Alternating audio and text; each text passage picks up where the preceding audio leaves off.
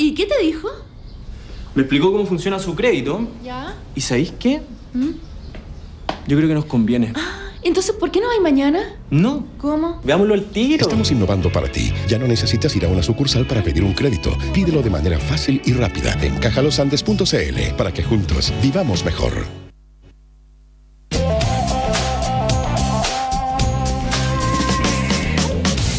A ver, es uno de los grandes fenómenos musicales del último tiempo y ahora existe la posibilidad de verla en su debut aquí en Chile.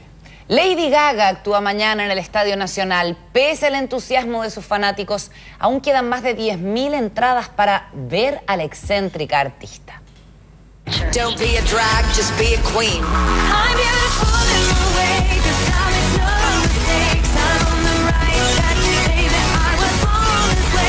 Ya estamos a un día. Este martes se concreta el esperado debut de Lady Gaga en Chile, uno de los mayores fenómenos musicales del último tiempo. Amada y adorada por sus seguidores, los Little Monsters, que ya la esperan con ansias en las afueras del Estadio Nacional.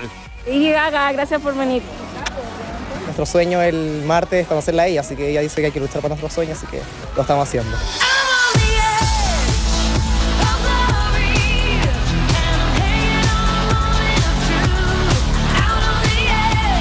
Arribo a Chile es una incógnita. Nada se sabe de ella tras su paso por Buenos Aires.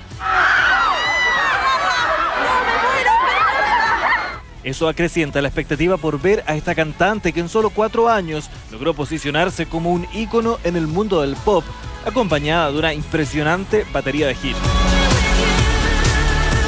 porque claro, Lady Gaga mueve masas y tiene a su gente, por lo menos acá en Chile, eh, bien atenta a lo que está haciendo ella musicalmente.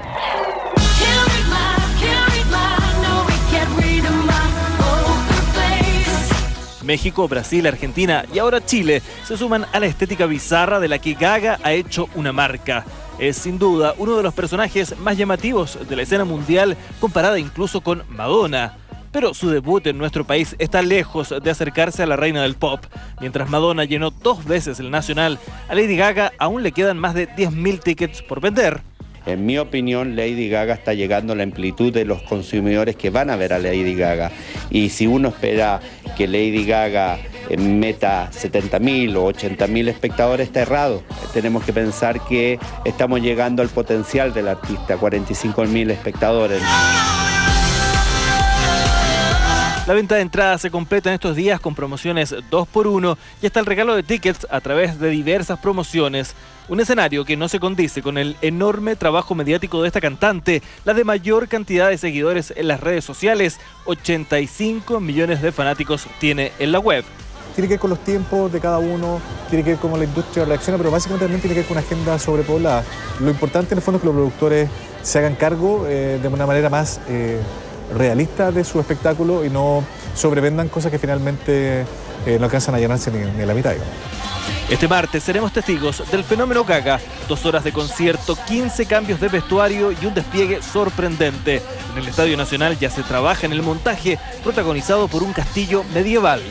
Acá se usa una base que es la misma que podría usar, eh, no sé, Roger Waters o Madonna, pero todo el, agregado que se le pone a ese escenario, ¿ah? porque una cosa es el esqueleto y otra cosa es toda la escenografía, es lo que lo, modifica la estética que está trayendo el artista.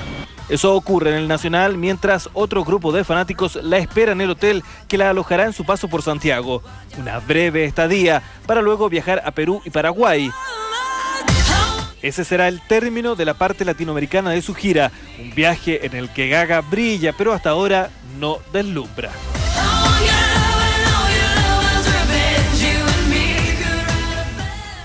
Seguimos con la música y los conciertos. Si usted es seguidor de Silvio Rodríguez, atención con lo siguiente. El único show que agendó